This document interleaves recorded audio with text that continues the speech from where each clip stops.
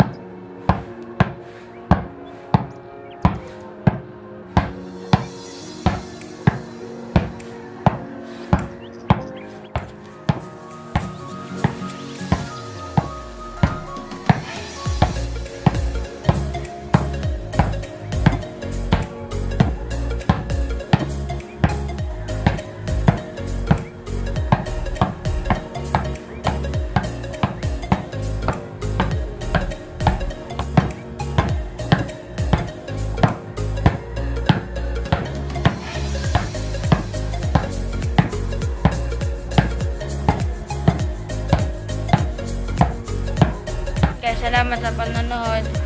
Don't forget to like, comment, share, pindutin yung subscribe.